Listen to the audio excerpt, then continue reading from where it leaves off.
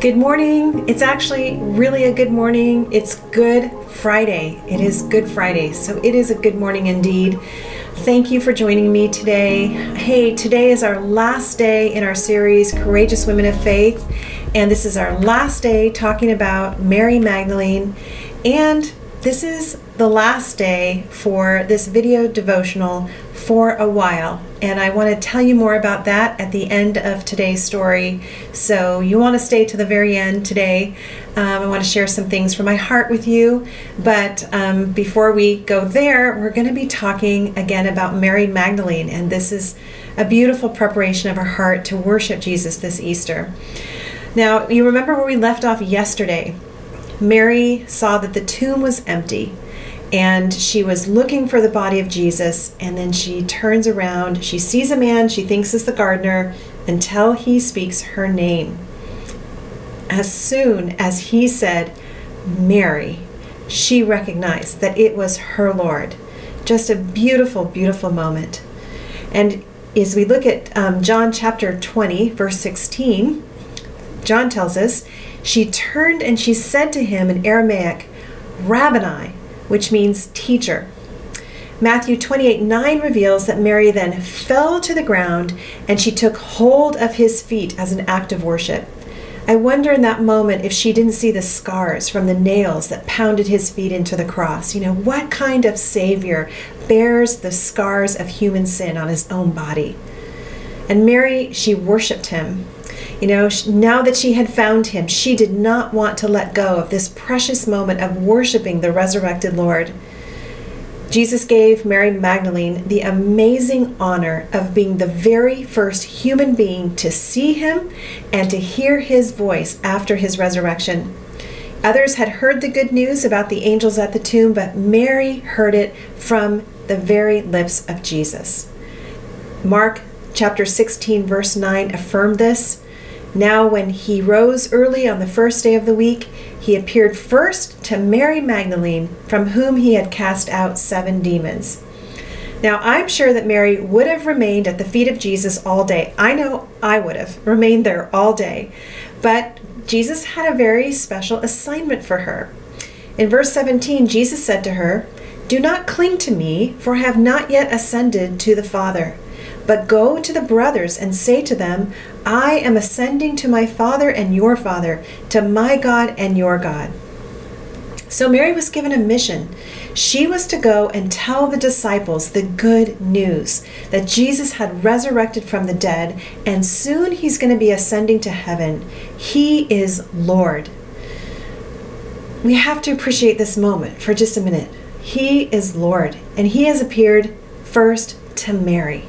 Mary Magdalene. I mean, a woman in her culture would never be a credible witness to, in the courts of law.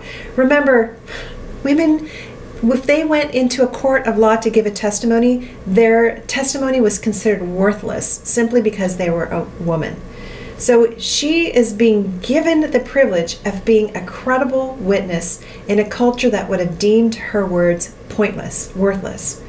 You know, it, it and yet she is being given the privilege of being the first eyewitness to the resurrection and the first bearer of the good news of the gospel. Jesus is alive, he has risen from the dead. Now, verse 18 says Mary Magdalene went and announced to the disciples, I have seen the Lord, and that he said these things to her. This is where we get the answer to our question Why am I here?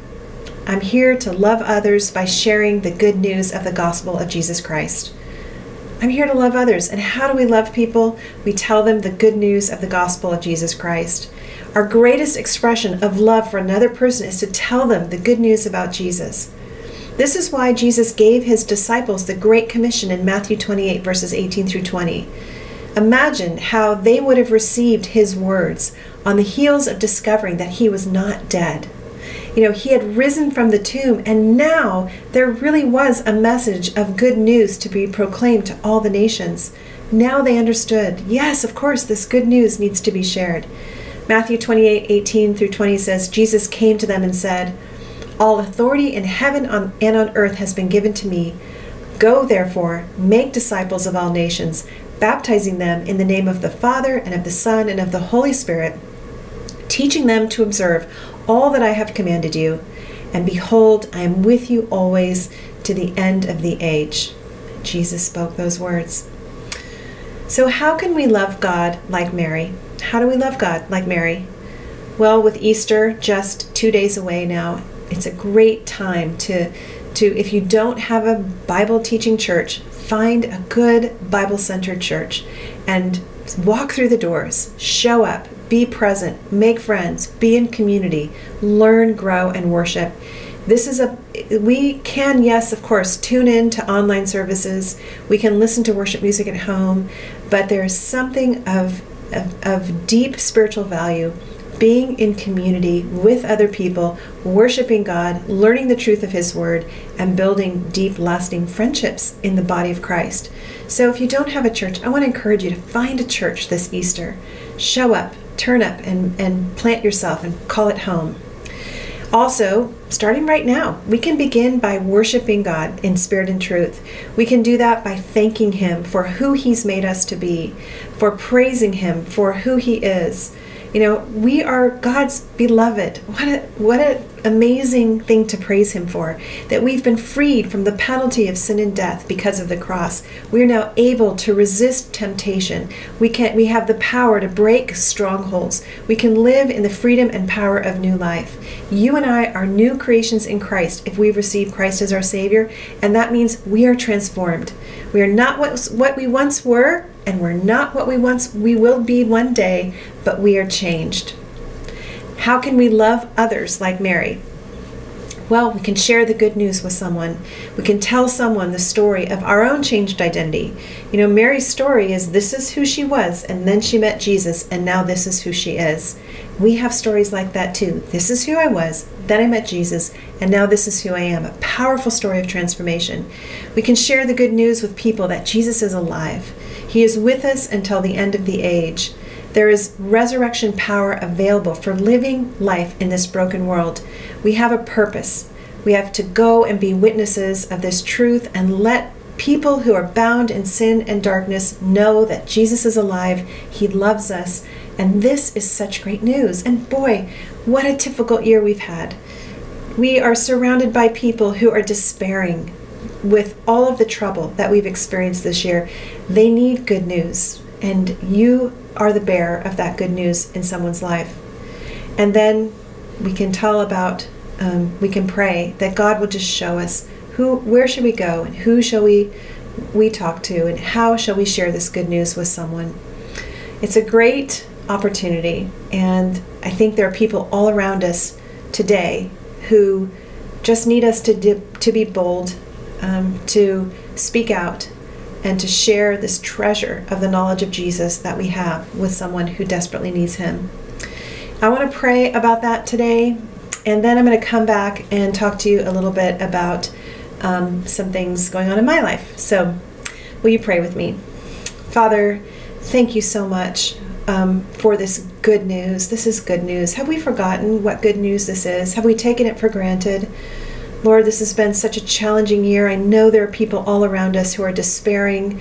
They're tired, they're isolated, they're lonely, they're frustrated, they're angry. But the good news of who you are can triumph over all of those feelings and thoughts and experiences. So, would you show us who is ready to hear about you? And oh, Lord, please may each person listening today find a place to worship on Easter morning find a place to express glory and adoration to you for who you are and for who you've made us to be, your beloved in Christ. And so, thank you, Lord. Thank you for this time in this devotional.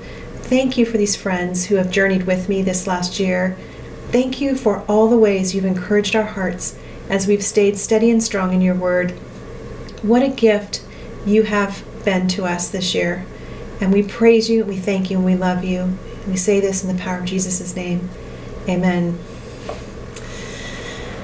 Oh, it's been so amazing to be with you this last year. You know, it was on March 22nd, 2020, uh, just a year and a week ago, when the pandemic um, first required that people go under stay at home orders. we weren't able to leave our homes and go to work. And I actually received that news with great joy because I was tired. I was very exhausted eh, by my role in ministry and also as a doctorate student. And I was falling behind in my schoolwork. So I received this news with great joy, and I went out and I sat out on my patio. I think it was a sunny day, and I opened up my school books, just praising God for time. I thought it was going to be two weeks, right? I praised Him for time to study, to catch up on my studies, to get ready for my cohort in May.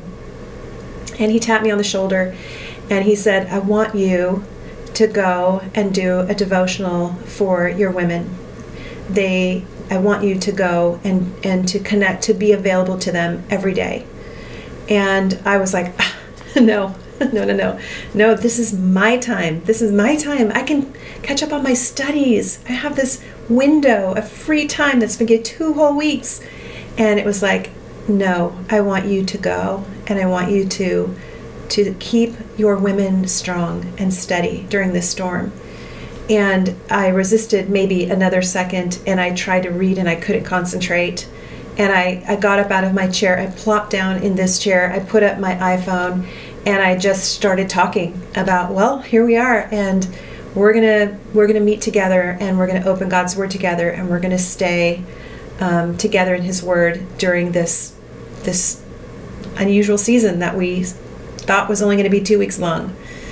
So I didn't know how long it was going to be. I just know it was compelling that God was calling me to meet with you. And if you go back and watch the early videos, it was very unplanned and very relaxed. And, you know, I didn't really know what I was doing, even how to use the technology. Um, but God had a plan. And uh, now it's been a year that we've been doing this together. Um, eventually, the channel be called, be, was called Mornings with Mary Ann. Um, the first 40 episodes. Season one, I called it, we uh, looked at the character of God. And each day we lifted our eyes up to look at God instead of looking at our circumstances. And we reminded ourselves about His amazing qualities, His character, His faithfulness, His trustworthiness. And as we the pandemic was unfolding, it was so incredible to just lift our eyes up and see God in all His glory for who He is. And then over the summer, um, we spent um, a lot of days, um, 55 days, I think it was, um, talking about the life of Jesus. And so we went back to the beginning of the prophecies about his birth in the Old Testament, all the way to his birth and the accounts of his life in the gospel, all the way to his death, resurrection, ascension, and second coming in the book of Revelation. It was just so rich to think about Jesus and to be reminded of our Savior in the midst of this pandemic unfolding and the racial issues that became charged and all the things that were happening, we held really steady by taking our eyes off of our circumstances and putting them on the, the beautiful person of Jesus Christ. Then in the fall, we got ready to launch the river study in the life of David, and God just gave me this, uh, in, excuse me, we got ready to launch the river study in the Psalms. And God gave me the idea to uh, walk through the life of David through 1st and 2nd Samuel. And that was incredible. 71 episodes we spent in season three talking about David and his life, his calling. Um, and it was just beautiful to do that and in the background as in the river study uh, we were doing the Psalms, and so many of the Psalms were written by David, and sometimes the circumstances of David's life lined up perfectly with the psalm that he was writing in that moment. That was incredible. Called that series Living by Faith in a Fractured World, and um, that was so rich to look at the life of David. And then I thought, possibly we were done. Of course, we did take a break in there for Christmas and we did contemplating Christmas and got our hearts ready for the celebration of Christmas. I thought that maybe we were done. And then God gave me the idea for courageous women of faith. And um, we've looked at, at Ruth and Deborah and Esther and now Mary.